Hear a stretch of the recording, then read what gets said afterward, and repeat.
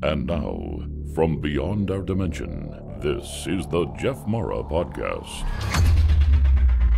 Here's Jeff. My guest is Darrin Pelley, who during his NDE experienced God's love.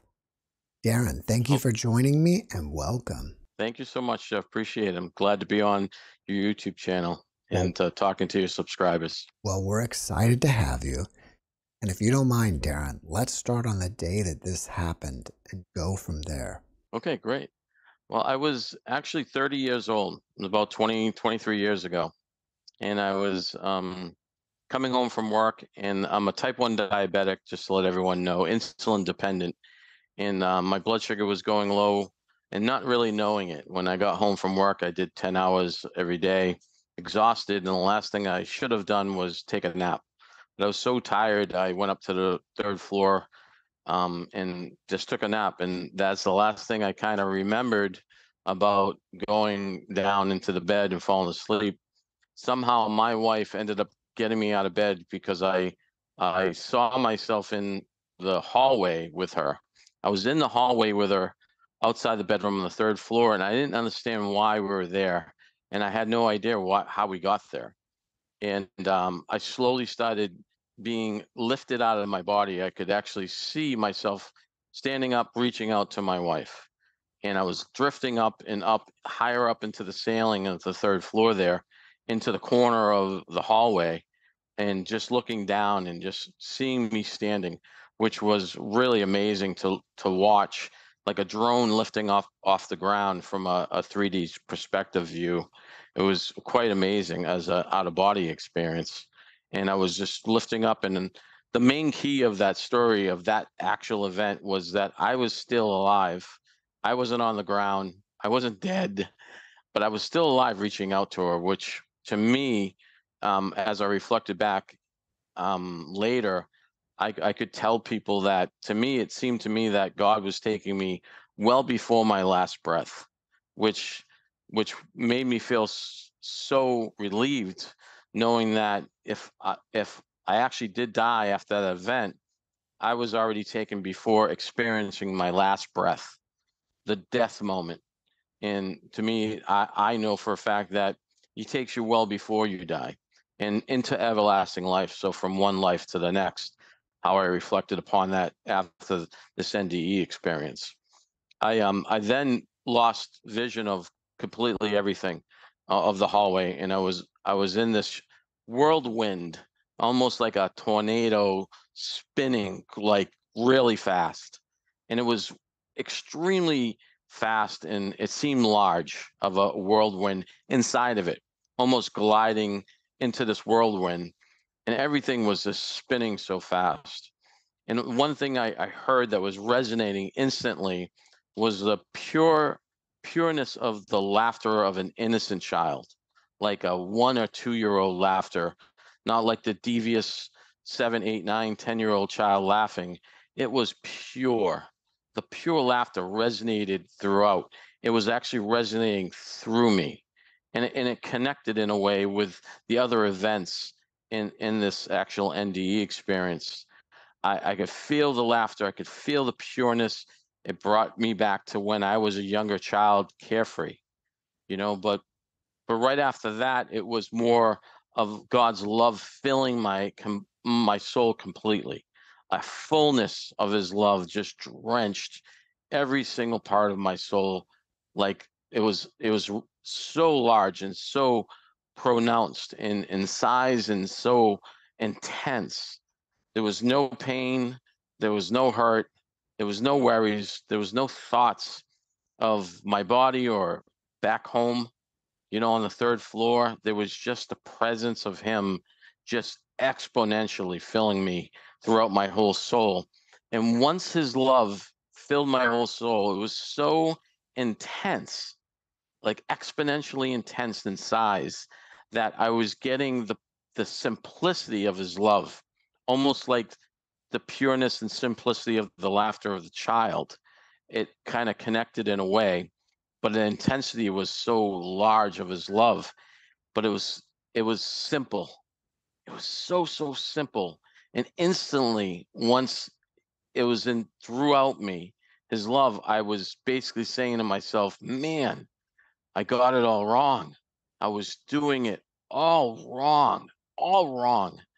From that feeling of how simple and how pure and how intoxicating his love was just for me throughout my soul. It was truly amazing to experience it to the point where it was it was we were still spinning through this tunnel and i'm saturated through his love i i could come to a point where i'm coming to a to like a question and i forget what the question was but it was it was a question that i had and he instantly before i even asked the question in my in my soul or in my mind of my soul he would answer it automatically throughout my soul the answer would rush through me throughout my soul telepathically instantly before a split millisecond of asking that question. He already knew the question. He already answered that question, and I was blown away. I I I was just totally shocked at oh my gosh, he's that much eh, that much intact in me, in my soul, and it was so so powerful. Um, his power, the Lord's power, was so magnificent even to the factor of his love, it was so even more grand than that. It was it was so so amazing in size of his power. It, none of the English words and none of them. The English language is far, far way too simplistic to even define it. It's undescribable. It's unmeasurable. Um, it's just impossible to tell you how grand it is, and it only for you. That's it's saturated throughout the soul. So I, I try to write about how if any of you had a love experience in your life and you felt passion and love in your heart from a hug from a grandmother or a, uh, a love moment with a, a significant other, and you take that particular massive amount of love that you felt, if you put if you multiply that by a factor of like 10,000 or 100,000, none of us on this earth could ever experience an intensity that massive. And you take that factor and you put it into every cell and molecule of your body and your soul. And that's what God's love is like for you. That's what it feels like. It's so incredible. It's unbelievable. And and he was just there answering this question instantly without even me asking and from from there i went into what we, people would call even a life reveal now i'm 30 years old so my life reveal i would think would be short but his love is so saturating in my soul and so grand he's letting me feel all my life events like they're going by by milliseconds like a projection of um, video but they're flickering all through my soul and he's letting me feel all the all the all the nasty thoughts I've had because he knows every thought. He knows every word. He's shown me every interaction with all. He's showing me the terrible times that I was, the great times that I was. He's letting me feel it in my soul. He's letting me see. He's letting me see people that I'm talking to and how I affect them. And and he give me that glimpse of that that feeling through my soul, but most of his love is like hugging me in a background and encapsulating in me. All of his love is still there as he's letting me, is showing me how I was. But him in the background was so intense. I knew he was there, but he's just saying, let me show you, son, what you did.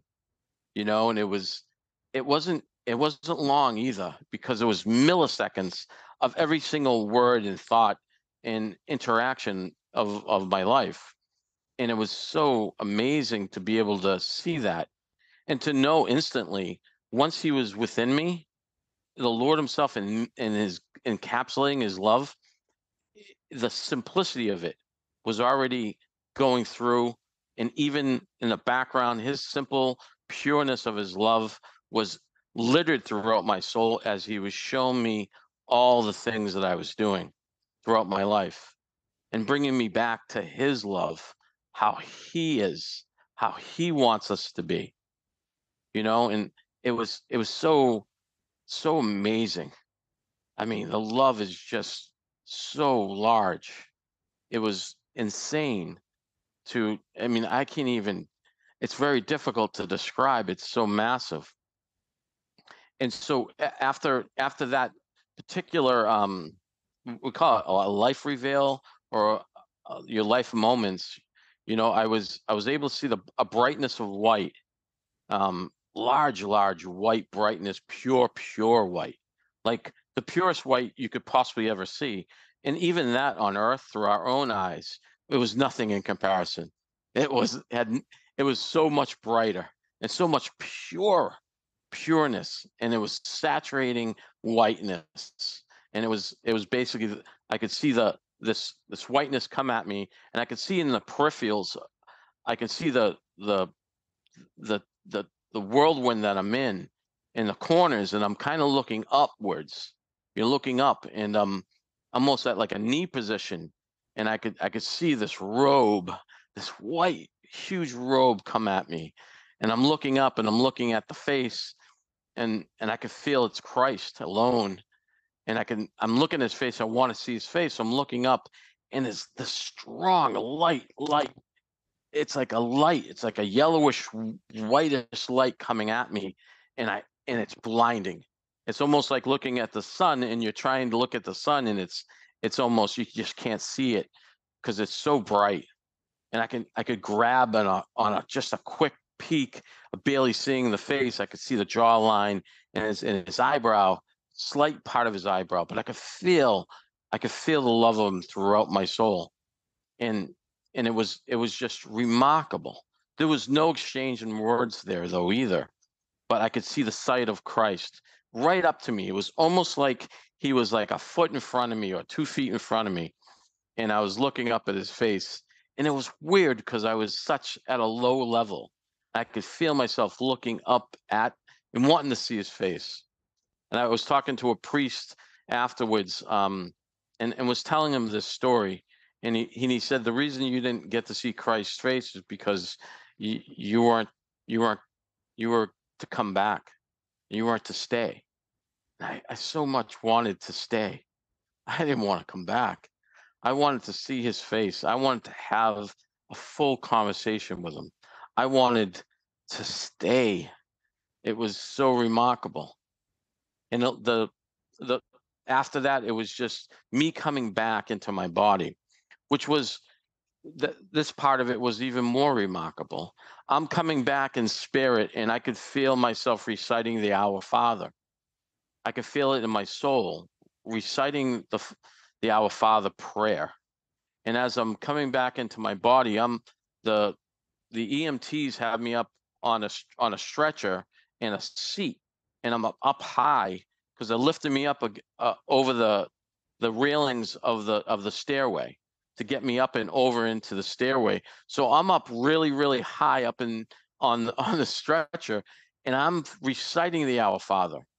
And as I'm coming back to my body, I'm not 100% conscious yet, and I'm I'm babbling and reciting the Our Father, and I can feel it through my soul, and to the point where I can feel every single word, every meaning of it every single sentence in depth meaning enriched in my body, enriched in my soul as they're carrying me up over the banister and down the stairway, all the way down from the third floor.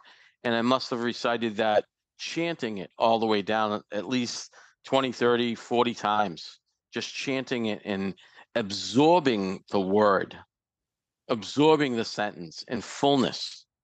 It was remarkable, amazing to this day, I, I still recite the Our Father in my daily prayers, and I know the intensity of those of those words. It brings me back to that the fullness of that prayer, which I got to receive in spirit and in body through this NDE.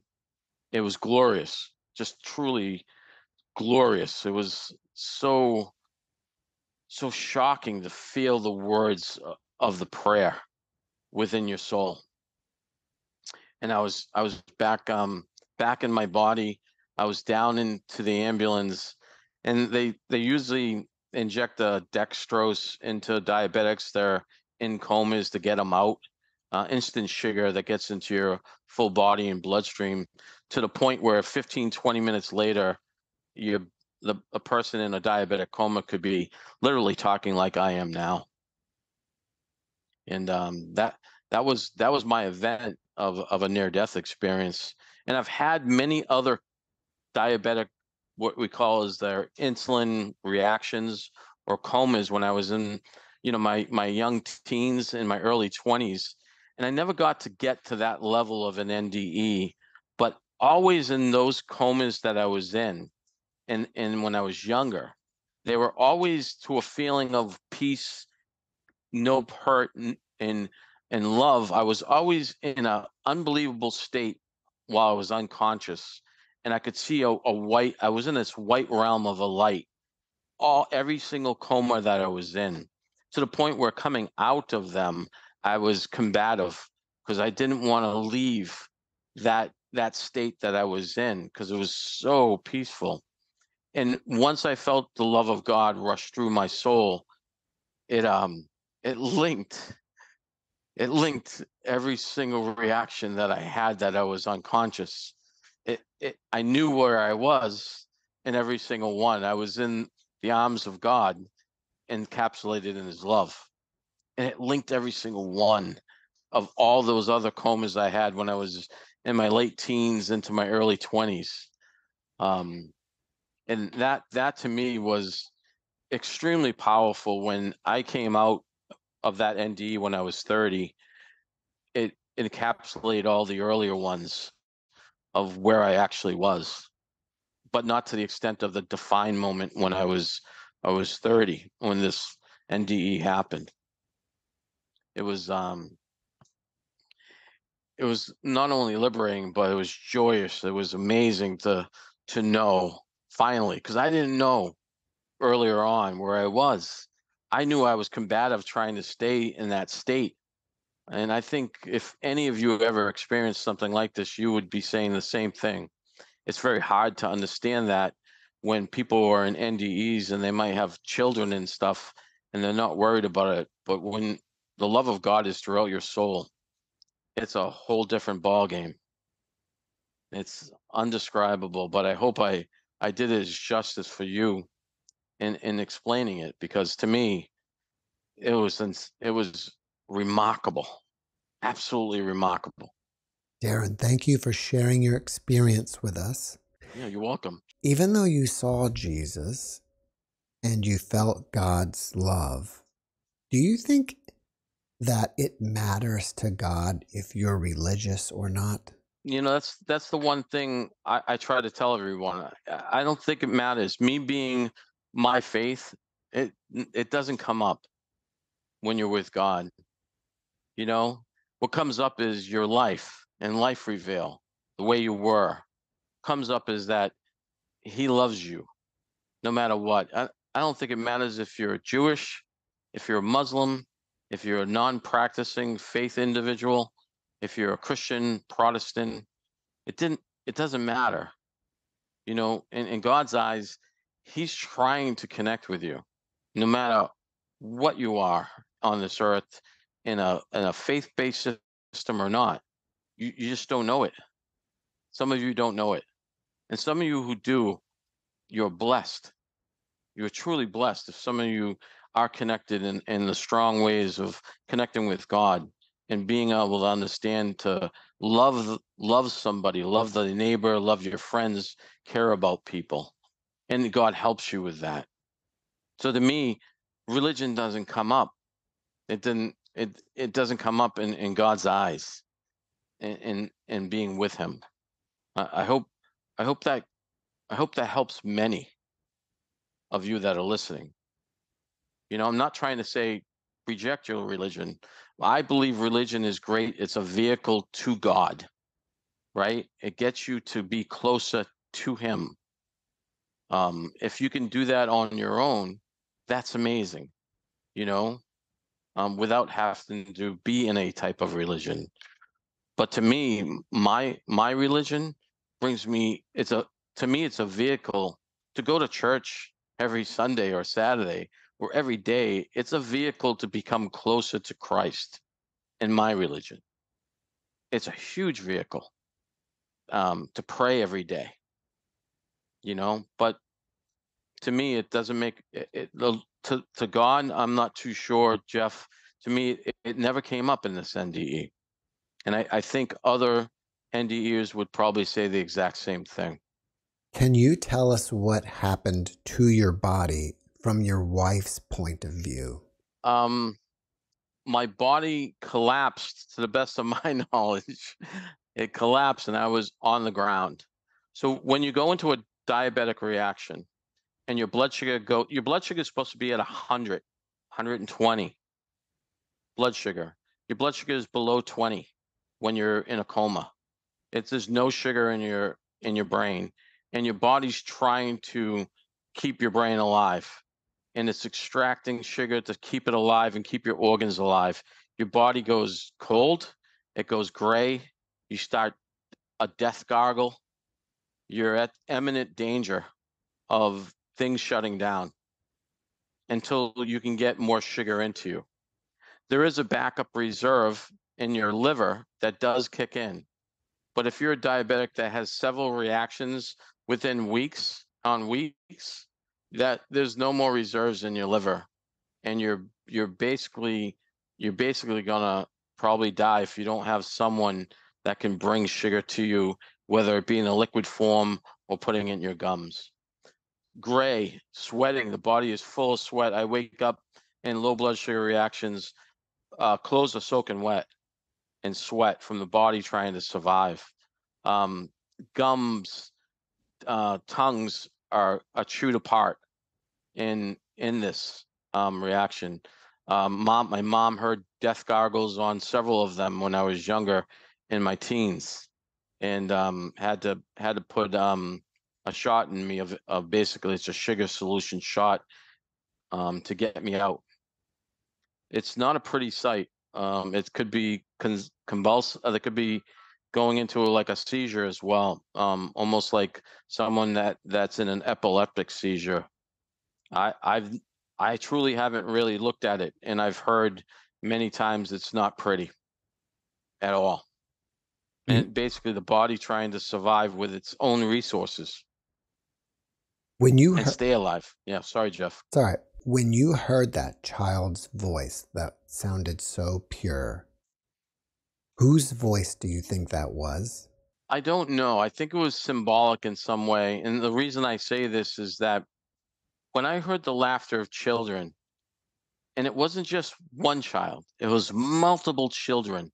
So it was more of an intensity of pureness and simplicity of a child, of an innocent child, where they're not of age to to lie because their brain's not developed at that point in time. It's that innocence. And I think it was I I actually think it was God's message in a way. And and I I didn't. I I have a lot of scripture in in a, in a book that I wrote that that kind of simulates or kind of acknowledges certain moments of my experiences. And to me when I when I go back and I look at like for instance when I once I came out of this NDE, the, the next week I was looking up whirlwind in the Bible. I needed some confirmation, and there is episodes of the death I think of Elijah that's that's encapsulated in a whirlwind. I was in tears reading sections of the Bible that correlated to whirlwind because I thought it was just me and I was scared. I didn't know what that was, and I was shocked to read that. And the same in Scripture where Christ is talking to the disciples. They're all arguing about who's going to be at the right hand of Christ. And they said, I want to be at the right hand of Christ in heaven. And they're all arguing who's better than who. And then Jesus basically said to them, Listen, all you all you guys, listen, listen up. Until you all can be like a child in your life, pure, simple, kind, innocent, and thinking that way in life, none of you enter the kingdom of heaven. And that's what he says in scripture. And to me, that's the way I think essentially God was trying to tell me this was the way to try to be simplistic and kind and pure to the best of our abilities, of course. And and then his love, his simplistic love just just compounded on top of that. It was almost like a layer of information that resonated with all. After your remark it was it was it was really amazing. It's really amazing to go through that. after your NDE, did you notice that you had any new abilities that you didn't have prior that could be considered psychic? So I could tell you this. I know there were things after my NDE that have developed more enhancedly than prior. So I have a lot of um I I I'm I was like praying to God when I was younger and praying to God in my 20s in in major milestones in life out of anger, out of whatever, but I always had a sense of knowledge within my heart and my mind and I didn't recognize it earlier on, but I recognized it prior to this NDE. I recognize things that happens after after praying, even in anger, you know. But I, I they're they're to me they're the signs, right? And so as coming out of that NDE and and learning more about every ep, every section of the NDE, I started looking at man my past experiences, and so I started started being more involved in prayer in connection with God and being more involved with um, teaching and knowing what I know. And in doing so, that enhanced my ability and my knowledge of God and of the connection with Him. And from that, we all have the ability to pray and connect with God in what I would say the gifts that the God that the Lord gives you in the gifts of knowledge is really, really strong that I know. I can pray and I can I can feel God's love in me at times in prayer, not all the time, but I can there are times I can I can pray for someone passionately and know about God's involvement in their situation because of his love that resonates inside of me in prayer. So though that that has enhanced a bit at, after the NDE, but it's it's not necessarily because of the NDE. It's it is in a way for me reflecting on the things and knowing the things, but me getting involved in in the prayer steps that I take along with wanting to to to teach other people about my experience and about God's love in heaven and about what I've just described. So I, I I've been heavily involved in in in my church. Um, I teach uh, youth ministry, um, catechism, tenth grade, 9th grade, fifth grade, seventh grade, all the way up um, as a substitute, but mainly classes for tenth and 9th graders that are in their final years to help them in that in that prayer moment of connecting with God. And and and to me, you bring on that that word psychic, and to me, it's I wouldn't I I think everyone has that ability to reach God and have Him reach into you in prayer and and and have Him literally either some people have the gifts of of God's word coming into their mind and hear His voice. Some people have the gifts of just the knowledge of His love that makes you feel a word or an action. I write this extensively in my book in chapter six on how I pray and what has happened in these prayer sections of when I'm praying and and how to start and how it feels and what has happened in every single prayer phase of of what I do on a daily or every other day basis. And to me, it's it's not because I was in an NDE. It's it's because I I focused on prayer after my NDE, you know, and I I got more connected with with God. And once you get to that level, your life will change exponentially. I mean, it's amazing. My days are unbelievable. And it's not because of my age. I mean, if I wish I knew all this when I was 12 and I really paid attention, your lives would be amazing. I mean, amazing. The the gifts that the Lord gives you in His love and your passion to be and help people automatically happens. You know, He He puts His love in you in prayer. He He, he clears your mind and your heart from your burdens and your worries in prayer, and you're enlightened. Light, you're enlightened slightly to a level where you're you're you're happier as an individual. And if you're happier, I don't care what anyone says. If you're happier because the Lord helps you in prayer, you're happier to other people during your day. The one thing I learned is the simplistic love of God is us alone in simplistic interactions. Just a smile on my face to someone else and looking into their eyes and knowing that affected them. That's that's Christ alone. That's the Lord Himself alone through me, emulating His love because He brought that upon me through the connection of Him with in prayer. So psychic is is a word, but it's it's I guess you can say that God gives you knowledge of others. God gives you information in your heart uh, if you're praying for somebody, and He's He's with that person. He's intervening, and He says He says to my heart, "Don't worry, son. I I have this for this person." It's that type of feeling that you know He's with that person when you're praying for that person. And and everyone has this ability jeff. They just don't know it. I'm sure there are people out there that say that they pray but their prayers go unanswered. Absolutely. why is that? You know it's a, it's a very good question. You know it's you know sometimes um i i heard this in a in a um in a in a video that i watched about this this gentleman has a young son. And his young son is like two, three years old, and they're at the dinner table, and the young son's banging on the table in his high chair, and he wants something from the dad. And the dad's eating grapes at the dinner table, and so he gives the son a grape, and and the son throws the grape on the floor, and the son's pointing at him, I, you know, and his dad has a steak knife and a fork, and the son wants the the two year old son wants the knife, and the father says, no, you know, I'm not going to give my two year old a knife. You know and and and it's probably the same thing with god. I mean there's a reason some prayers are not answered because it it's probably not in your and it's not it's not it's not the time to give you that answer or hand you that knife that you'll do hurt to you.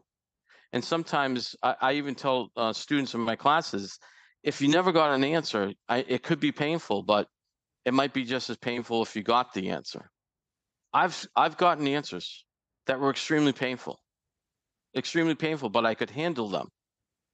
Um, I gotten answers that I, I wanted certain family members to live, and I knew the Lord was going to take them home, and it was extremely painful to feel that through God. But I asked Him to give me the grace and glory of a moment left on this earth for their lives that I could spend with them, which He's granted me. So you you take what's the best you can do.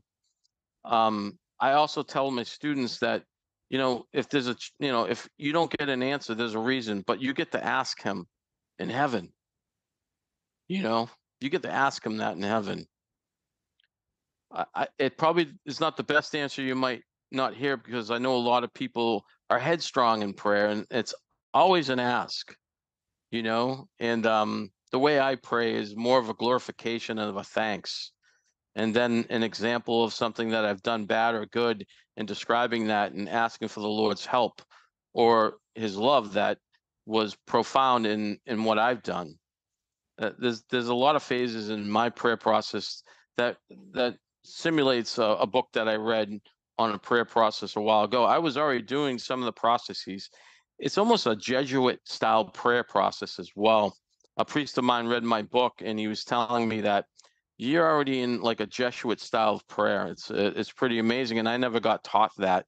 It's just I I ended up coming into that way of praying and connecting with God. Have the memories of your NDE faded over time?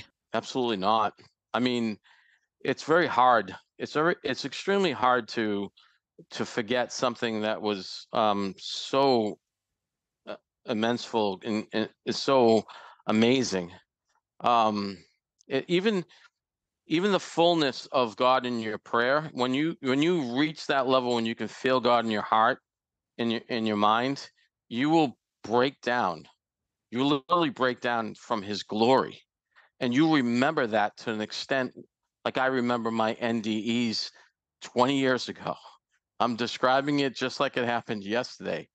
But in prayer too, once you reach God's knowledge and maybe his voice or his is the feeling of his love in you during your prayer time with him, you'll be on a different level. And you remember that, and then you'll be you'll be going back to it automatically to him because their days are going to be different in loving and caringness. You're you're going to have crazy days, but uh, I I remembered so much of the NDE that it's almost etched in my brain. I really can't forget it. And um, you know, people go through traumatic events in their lives, and it's always there. And I wouldn't say it's a traumatic event, but it, it was, you know, it was traumatic in my soul, you know, and so you just can't forget it. I mean, I wrote this this book, you know, 23 years afterwards, you know, and help had to have someone help me write this book because I'm not a writer, I'm an engineer. I couldn't write a, a full paragraph if my life depended on it. So um, it took me at least a year and a half, almost two years, just to get everything down to the way that I'm talking now. What is the title of your book? It, my, the name of the book is called One with God, and it's, it's so symbolic because that's where you are. That's where all your family members are. You know, in other NDEs, they, you hear about people talking with their loved ones and around their loved ones and stuff too, but you have God soaked throughout your whole soul. You know, it's so incredible. And uh, I write that book. I write um, basically the storyline of what I talked about. I write about the angry prayers and the other prayers prior, um, some of my life experiences, other stories that I've read about and talked and and and influenced me, uh, other books that influenced me in adding to the way I used to pray, and adding a couple s- steps in that process of praying. Um so and it changes too you know you you're going to end up um modifying your the way that you're communicating having a conversation in prayer. Trust me it it, it will change for the better. The, the more you you end up praying and finding a quiet place to be in and and getting rid of all your worries and your cares and thoughts and opening up your heart opening up your mind and having a pure conversation with the lord. If people want to find out more about your book, do they go to Amazon or your website? Yeah, both. Um, so my book's been just I'm a I'm a self-published. I don't have a publisher. Um, I end up doing it myself. So I I put it on Amazon. Um, One with God. I also have I, I started a website as well when the book came out. It's called one www.onewithgodbook.com and it's basically a profile of me uh, about my book, about my experience, and it has a prayer request there too. I have a button you can press. So if you're having issues in life, you have any requests, you you want to talk to me, um, you can just click on that button and and whatever you ask, I, I you normally try to respond. I'm not technologically sound, so Jeff, I just recently put um, I linked the uh, prayer request section on my phone in an app so I can automatically see if someone came in and, has a request. I can type on it and I can try to type back a response to them. I'm getting requests around the world. It's it's so amazing to be able to help people and at least help them in in their grief and their sorrows, but also in, in the knowledge of what I expressed here on your your wonderful channel to your to your subscribers and your followers. You know, to me, it would be a waste not to share so much that I know because you'd want everyone to benefit and have an amazing life. It's a short, it's a short life. Trust me, it is a short, short life we live in comparison of where we're going to be with God. It's astonishingly short. Um, and to me, if you can live happier during this short life instead of misery. Um, I would love that for anyone. If you had a friend that was grieving over the loss of a loved one, what type of advice would you give? Well, I, I would give them the knowledge of God's love and where they're at. And and they're one with God and, and the peace that they're at. I would also give them the knowledge knowing that if they ever experience the last moments of their of the loved one's death that you know the lord would would take you prior to your last breath You know, uh, people fear uh, death moments. They fear that. I, I would fear the suffering months ahead if you had long term suffering and hopefully hospitalization with good medication to help along. But in the moments up to dying, it could be a day, it could be 25 minutes, 30 minutes, the last moments in your last breaths, you're never, ever going to fail. The Lord God, Heavenly Father, never wants you to feel the last moments of breathtaking in death. He wants to take you from one life to everlasting life and the love of Him. And I, I, I say that to so many people. I just had my best friend die yesterday. It was it was um, immense to know that he passed after his surgery and in post-op and it was it was difficult but i walked out into my jeff my field and I, I walked around a bit and and it got into this this major prayer and and talking with god and i even did that be, while I was in recovery. And I knew the Lord was going to take him, unfortunately. And um and I just asked for his grace and his love to encapsulate my friend, you know, and bring him to heaven with him. And and you you get you get signs throughout your whole life. I, I would tell someone that's suffering and grief, you get signs all the time from God. Uh, dreams of your loved ones, um, signs of your loved ones because they're one with God. What people don't understand is God is always with you, and so are all your relatives, all the saints. The love of everyone is within God. And so when you get to see signs, people often say, well, that's my Uncle Joe or my Uncle Bob or my Aunt Susie, and that's my dad and that's my mom. And you know what's ironic about that? Well, not ironic. What's true about that is they're absolutely right. They're absolutely right. God's given them a sign in their wholeness, oneness with the Lord, and maybe them as a sign to them, I feel, um, for what I know, you know, and I see signs all the time. So, uh, someone in grief, I would wholeheartedly love to speak to them in the way that I'm speaking to you now, of course, and helping them. And even in prayer, I would I would help them in prayer and, and try to feel the Lord's love within them. After watching this podcast, people may want to reach out to you and ask you questions. Yeah, no problem. How can they do that? They can they can go on my website, uh, onewithgodbook.com, and in the, there's a prayer request. You can you you don't necessarily have to ask me for a prayer. You can ask me a question, and I will I will answer it. You know, the more and more I, I get to reach out to people, um, I, I think that relieves a lot of stress in your lives and in other people's lives that you interact with. The more the more at ease you'll be in understanding. I, I even teach you how to pray. You know, it it's it's really true that no one really got ever gets to be taught how to pray, how to connect with God. I mean, I don't remember in my entire life ever being taught the way that I learned how to pray to God and connect with Him and feel His love and break down from the gloriness of Him. It's so amazing. And then you're enlightened and lifted automatically, affecting other people. It's a ripple effect, everyone, of, of love, of simplistic love, though. And you're not going out every day saying, I'm going to march on and be the best person I can be without God's grace being in with you automatically where you're not even tiredly trying to be nice. Where that level of enlightenment you can be it automatically happens. Your life changes. You see signs. You see things in others.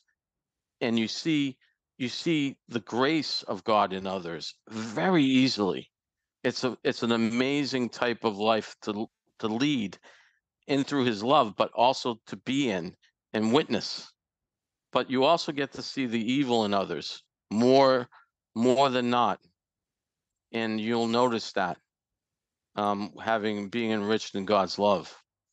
But it's not it's not a terrible thing. You i have pity for those that have no connection that are living in their own skin and i pray for them as i just sit and watch and hear them in a group conversation it's just they they know not what they do. They're doing it for their own. Darrin, before we finish up, can you leave us with one last positive message?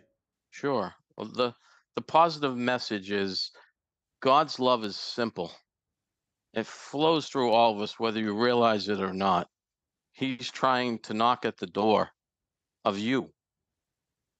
You just need to recognize it and open up, and your life will change so simplistically at times and your you'll your days will be remarkable. And it's not 100% guaranteed that all through the day will be remarkable but slowly it gets better and better and better. Your life will change I, I say to a lot of people i'm not the special one. And and and you know it's not it's not about me i'm not the special one. You're the special one. You just don't know it. You just you know you've never been taught or you never learned or you never had such a connection and you're tired and wearisome through life. I'm not tired and wearisome i'm glorified to be having a next breath to experience interactions with other people every day i might be tired by the end of a workday standing up all day long and i always go back to god to help me especially i don't want to come home tired and angry at my loved ones so I, I try to stay connected as best as you can. It's a tough world we're living in. It could be a lot more loving simplistically through the love of God, one with Him. Darrin, thank you for your message and thank, Thank you. you. for being my guest. Thank you so much, Jeff. Thanks for watching the Jeff Mara podcast. I really appreciate you. Another way to show support is through YouTube memberships. And if you do, there are loyalty badges and other perks depending on your level of membership. All you need to do is click the join button underneath the video to find out more. Thank you for your support.